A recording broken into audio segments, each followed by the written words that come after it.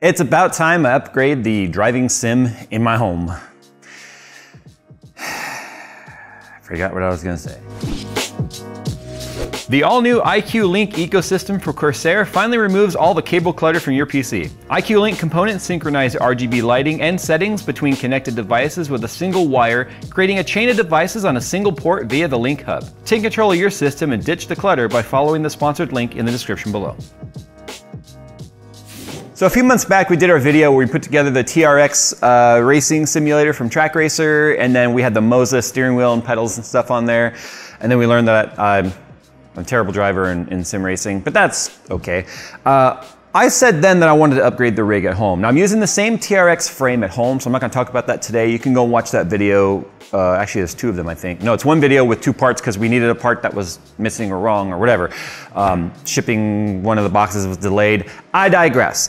I'm using the same frame at home to replace my very aging Obutto Revolution.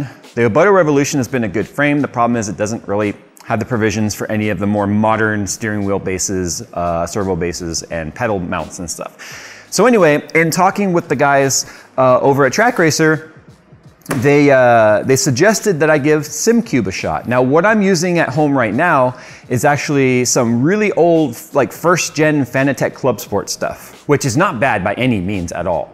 It's just I wanted to sort of up my game, you know, because better stuff apparently will make you a better driver. So the SimCube stuff is something they recommend. So I figured I would just kind of do an unboxing. I have no idea what the build quality is like. All I know is that SimCube has a pretty wide range of product and it can get pretty pricey. So this is not sponsored. I paid for this. Um, yeah, let's go ahead and take a look. So we got three packages here. We've got the SimCube Tanco GT21, we've got the SimCube 2 Pro, and then we've got the VRM, VNM Simulation VNM pedal. So I believe SimCube is what I use for the steering wheel. So this is the base, I'm pretty sure. This is the wheel. The base is actually pretty heavy.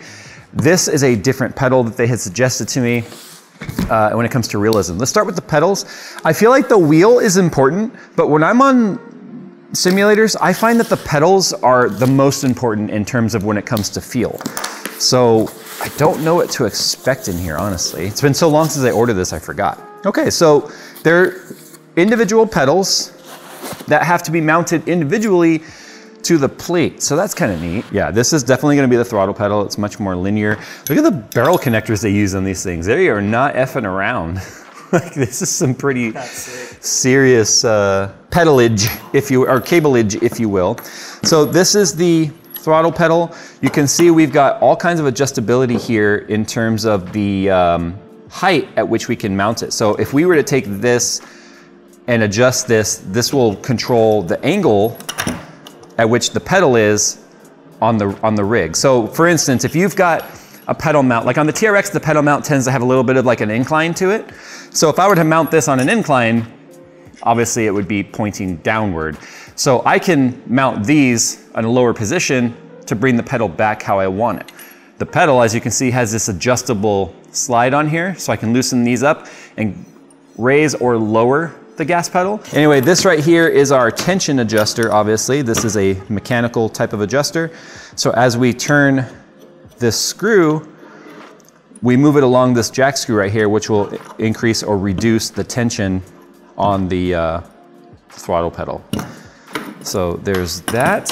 This is absolutely gonna be the brake. And I can tell that because it has the elastomers in here.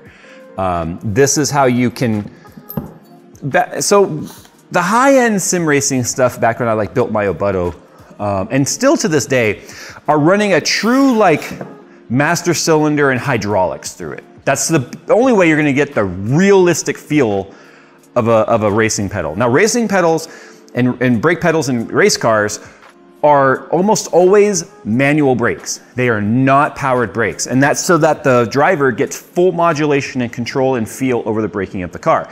And what you'll find is most of the time the pedal throw in a race car's brake pedal from 0% braking pressure to 100% might only be like not much farther than that. So you're literally dealing with, so, so what this is designed to represent, the spring right here, that's the spring load the initial um, preload on the pedal pressure, and it would be a spring in an actual race car. What these elastomers right here are designed to represent is the resistance of manually using your leg pressure to push fluid through the system into the calipers to squeeze the caliper pistons on the rotor. So that's what these are designed to mimic. Now, do we get adjustable ones in here? We get a lot of hardware. We do get a replacement spring. Here's the control box for it all. There's no manual in here. Nope, no manual. Anyway, I'm fairly certain this spring is designed to replace the first elastomer if I want. So what that means is I can have a more standard like streetcar feel on pushing the pedal down and having that spring, and then it gets harder down at the bottom. And since there's only two instead of three, um, there'll be a little more give in the elastomer. So this is gonna be for replacing uh, this guy right here. It might only replace this spring and not double spring on there. I'm not entirely sure. I would have to look up the manual online, um, but you can adjust the brake feel. Right now, it looks like it's currently set at 200 kilograms, 441 pounds, which is not even as heavy as I used to be. Anyway, moving on. Uh, yeah, that's a lot of brake pressure. So obviously that, that is, uh, uh, so that's our brake pedal, which goes on the left. Our clutch pedal goes in the middle. And this is for all of you unlearned, uncultured swine who can't drive a manual transmission. And then, oh wait, that's our gas pedal. Shut up. Wait, Shut up. I'm doing it backwards. I'm behind the pedals here, okay? Let's talk about the uh, clutch right here. So the clutch here, as you can see, is on this cantilever arm, and that's designed to give you the engagement feel of when, so in a manual car, when you hit the pressure plate, at that point, you'll feel the pressure kind of like move beyond because there's a little bit of a pressure release in the system because it's man full clamped on the clutch already. So this is designed to give you that feel of like, okay, boom, clutch engaged, and there's some of that preload on the clutch or slip. Depending on the simulator, uh, some might allow you to slip the clutch nicely, and that's obviously going to be dependent on how you have it calibrated in the throw. So you could calibrate it so that there's all this preload for clutch slip, and then make sure my thumb's not gonna get crushed in there. As soon as you hit that cantilever motion where it pops up, that's where the clutch is fully engaged. So 100% clutch could actually be more like right there, and then everything beyond that is just extra throw for no reason. And then obviously you can change the pressure, the tension on this. This one has a locking nut because this is gonna be moving under that pressure uh, and that weird motion a lot. So you can loosen up this nut, reduce the spring tension on the clutch, and then you can use these different mounting holes right here to change the leverage position or how soon or how late that engagement happens. Now here's the control box right here. Everything plugs into this. So we've got a handbrake, which I don't have, but you can put the handbrake in here so that you can have this control box for the handbrake. Uh, here's our throttle, our brake, our clutch, and then our USB, and then this right here is run and DFU. So DFU is for device firmware update, which uh, I guess puts it into a certain mode. This is a very mechanical box. And then they give you the USB cable to connect it to your computer. Now here's all the extra hardware and stuff that you need for mounting this down. Obviously, as you can see, these have a little bit of adjustability in the feet for mounting them along a rail. And that is the pedals. I'm actually really excited about these. The pedals, my Club Sport pedals at home have started kind of like coming apart. Like some of the screws have fallen off and I have replaced them with not the right size screws.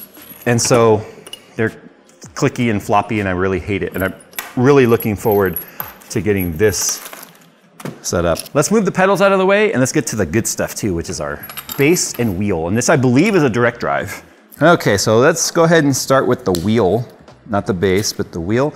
The wheel is kind of neat because you can, you know, you can put together the wheel and base package that you want. So you find the kind of wheel that fits the style racing you're gonna do, whether it be drifting, which would be a full circle wheel, obviously. Um, GT racing, which might be a flat bottom wheel or flat top, flat bottom. And then obviously you've got like F1 open wheel, which is more like a yoke. And then um, NASCAR, which is a big old wheel with holes in there so you can mount your gator plushie or something. Whatever it is NASCAR mounts on their wheels. All right, here we go. So SimCube. This is the Tanko or Taco GT21, so it's gonna be a GT wheel, obviously. And there she is, just like I said, a GT wheel with a flat bottom. Are these gonna be the same kind of, they're like the same shift, shifters I put into my, my R8. This is, this feels like a real GT wheel, like out of a race car. It's all Alcantara, which means I'm gonna have to use, super grippy. Ooh. but it means I'm gonna have to use gloves, because otherwise it's gonna get all oily and gross. oh But yeah. they're nice, but they're not as nice as ours in there. They're less clicky.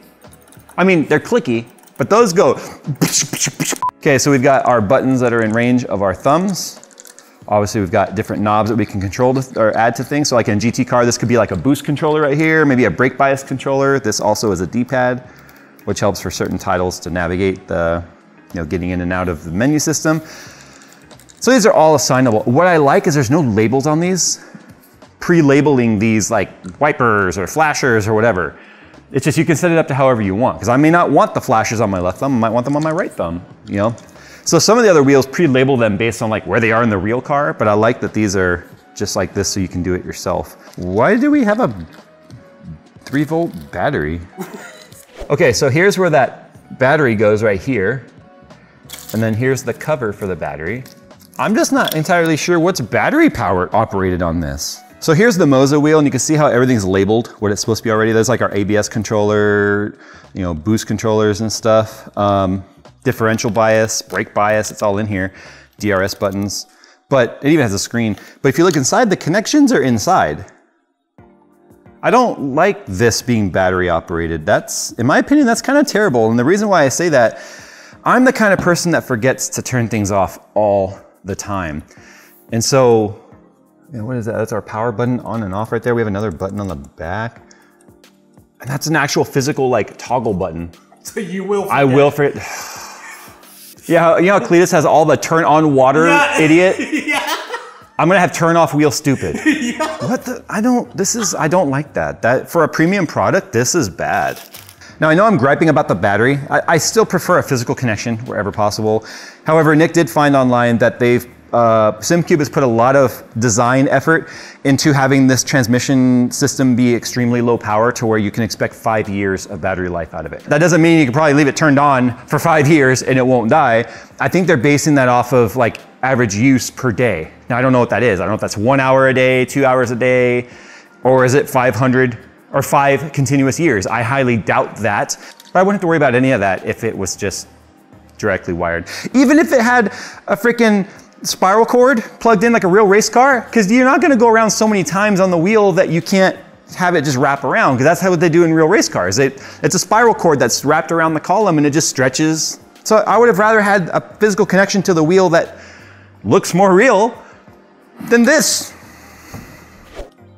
Here's all the stickers, by the way, if you want to label the buttons yourself. It comes with a whole bunch of stickers that you can use. Sorry. Thanks, A for Quick Chats. That's funny. Well, let's move on to the base. Let's see what the base has in store. All right, so this is the SimCube 2 Pro base. So our stickers, power plug. I can't believe they're still using these old USB 2. Oh, B. Yeah, I just, why is it still USB 2? Whatever. Hey, look, this one gives you a manual. That's cool. Dude, that brick.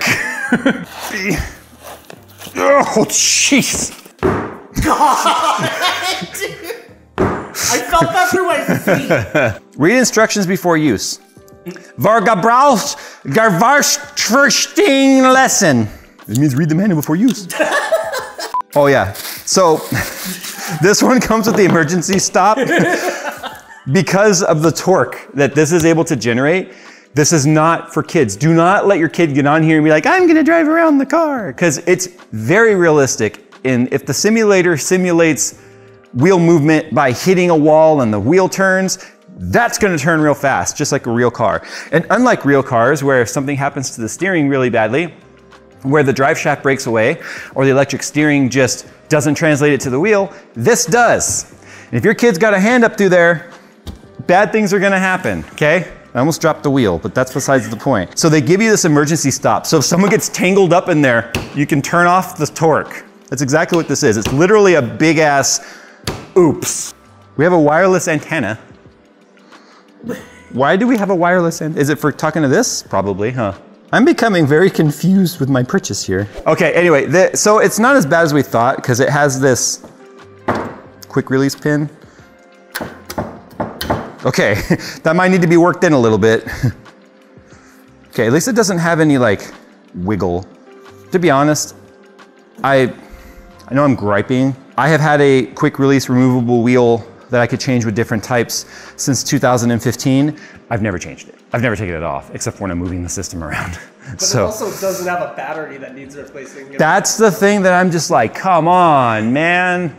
I'm gonna forget it. Do you know how I know I'm gonna forget this? Because I also like looking at stars and other flying discs in the sky and the holes punctured in the roof, you know, with my kid. And my viewfinder, right, my, my target finder is battery powered. And guess what I forget to turn off every time we're done looking at stars? It does feel nice, it really does. I just had to, I had to get a specific base plate for this particular one uh, for the TRX that I've got. The nice thing about, about Trak Racer is the fact that um, they do have all the base plates and things for all the different wheels that are on the market, whether it be a bottom mount or a front mount like this. I guess time will tell. I mean, it's inconvenient to change out a wheel and stuff. Um, it's also really inconvenient to spend, you know, like 25 to $3,000 for this stuff and then realize like, oh, it's battery powered. I just wish it, it would have been nice if they had a way of not doing a momentary or like a toggle switch like this. This is toggle on off. And then have it so if no inputs are sensed in like an hour, it self turns itself off. Or if the base turns off. That's true, because if the base is no longer communicating with it, it should recognize the base is off, therefore turn off. What if I just put this on the rig here and take the Moza home? uh, I gotta use it before I decide. All right, so it does have a 24 month warranty on the, on the wheel. Uh, I can't see anything about the base. If the wheel has a 24 month guarantee or warranty, I would hope that the base does too. But that's the nice thing. If you buy it through, uh, if you buy through a company like Trak Racer or whatever, then they support and help you with any of the products that they buy, you buy from them. They can get you in touch with the manufacturer if you have any issues. So that's kind of nice. But past that, um, yeah, I guess what I need, I, I have to take my rig apart at home before I can put the new one in there. And that's just been a daunting task that I've not wanted to do. And then putting together the new one was, is also a dauntinger task because there's more pieces to it. But we've done it once already, so I know what to expect. All right, guys, it's just been an unboxing. You guys have asked for some more sim racing stuff, and maybe we'll finally be able to do something. We haven't driven on ours in a long time. Should probably use the one we have here before I worry about putting together another one. Okay, so I guess at that point I to ask you guys, you guys want me to give you a review of how all of this SimCube stuff goes, or is it worth spending half that for Moza? You got, that's where you guys got to tell me if you want to see it or not. Let's be honest. Even if you were like, no, we don't care, I'm probably going to do it. All right, guys, we'll see you in the next one. Whee!